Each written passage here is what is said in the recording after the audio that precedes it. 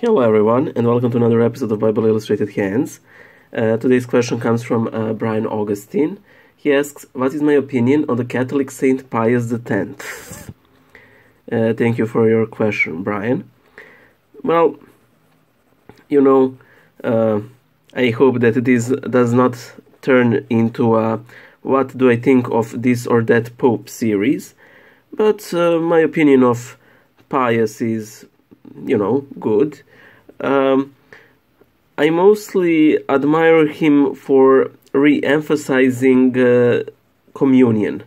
You know, I think uh, that he was uh, probably one of the most instrumental people in the Catholic Church uh, for uh, frequent reception uh, of of the Eucharist, which I think is a good thing. Um, I received also a question regarding the frequency of communion, but I'll address that later. Generally, I'm pro frequent reception myself. Uh, I'll elaborate later on.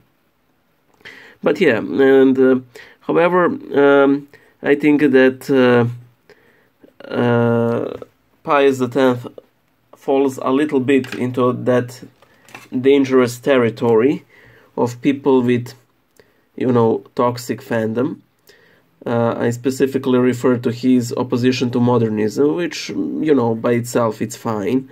Uh, it is a good thing. But uh, ever so often, uh, and quite often, um, you get people who are, so to speak, uh, I don't know if I can uh, phrase it well, who are Catholics or Orthodox or Christian or whatever not so much because of their love of Christ, but because uh, of their opposition to stuff. You know, uh, people who are. Um, I like to uh, joke, at least in Orthodoxy, that uh, people who are ortho- uh, who define Orthodoxy as not being a Catholic.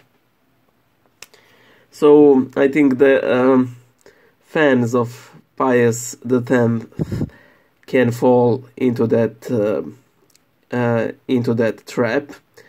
In Orthodoxy, in Western Orthodoxy, it is usually fans of um, uh, Seraphim Rose, um, or mm, to a lesser extent, a lot of Russian saints, um, especially Saint John of Kronstadt. But that's that's just, so to speak, a personal preference. You know, that's pretty much it. I I don't have much to add.